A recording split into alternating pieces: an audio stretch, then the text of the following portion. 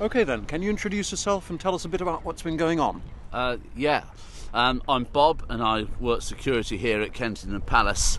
And for the last week or so, well, um, it's a bit difficult to explain really. Well, put it this way we've had a visitor. A visitor? Yeah, overnight. Uh, Getting up to all sorts.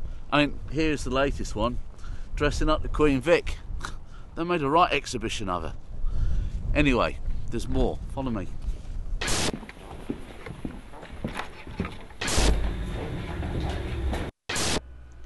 Well, this is all we've got on CCTV. It's not much considering everything that's been happening. Anyway, watch this.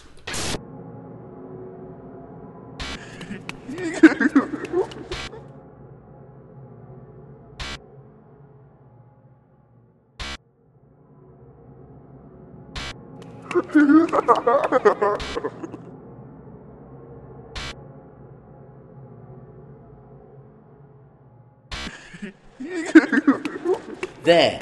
Now that's the only glimpse of him we've got. I tried blowing it up, but it's too quick. You can't make anything out. Anyway, keep watching. There's more.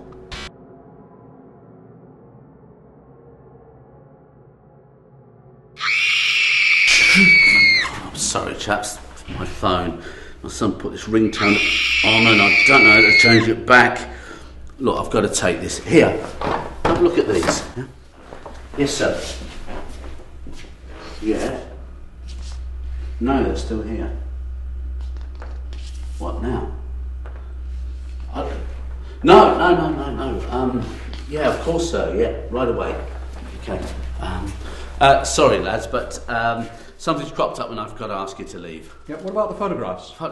Oh no, forget about them. They're nothing. Okay, please. Bob, what about Peter the Wild Boy? Peter the what? I don't know what you mean. Please. Peter the Wild Boy, the 18th century feral child? No, no. Has he come look, back? Look, this interview's come back? over. Okay. Come on, Bob, wait, Look, what's, what's going on? Please, Yeah, what's this the story? interview's no comments. Look, can you switch that thing off now? Come- What, what about the names on the wall? Look, that's it. dates? Enough. Can you switch it off now?